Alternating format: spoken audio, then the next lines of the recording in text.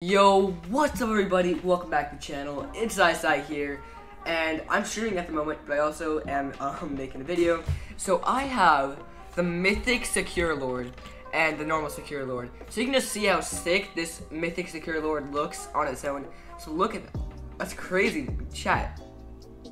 Isn't that insane? It reminds me of, um, of Avatar in the movie. Well, they actually like they Pandora in Disney World, which I live next to Disney World, so it looks really sick. The flowers coming out of the tail, um, the horns, all the flowers. It just looks amazing. I love the way it looks.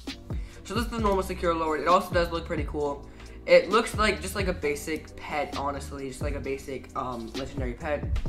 But the mythic sakuralord does look insane. It, it just looks amazing. I love the way it looks. And I think you guys agree with me too. Alright, so I'm actually gonna go check out the stats real quick. So these are the stats of the normal sakuralord, only level 11. So um, it's 10,000, which is pretty good um, for the flowers, and 9,000 bubbles, which is very good as well. Alright, now let's check out the mythic sakuralord. Oh my gosh, this is only level 15. No, no enchantments or anything. So it's level it's level 15 so it's 17,000 17,000 that's like the same as my fully maxed out um soul flower with like everything and it's like almost shiny. So this is like insane.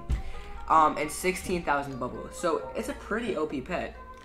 Now we also have the mythic blossom protector all these nice pets that we can use on the testing server.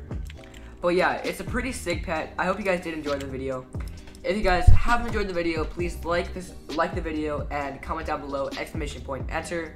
We're doing a giveaway for 2,000 Robux, and the only way to enter is commenting exclamation point enter on all my my recent videos, and I will be announcing the winner at 2,000 subscribers.